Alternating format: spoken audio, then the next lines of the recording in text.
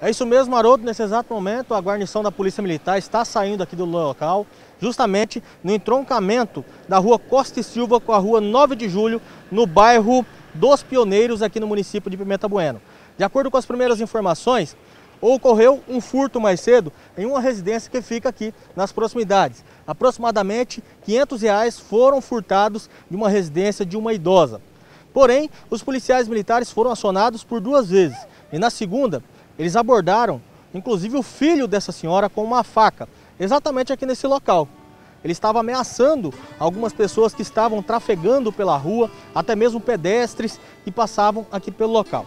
Mediante a isso, a polícia tomou a faca dele, até porque ele está bastante embriagado e alterado.